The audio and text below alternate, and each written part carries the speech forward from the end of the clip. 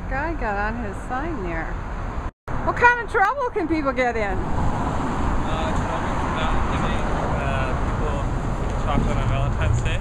Yeah. So what's going to save them? Buy chocolate on Valentine's Day.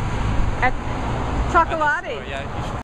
But this is a place people come for the very best of Valentine gifts.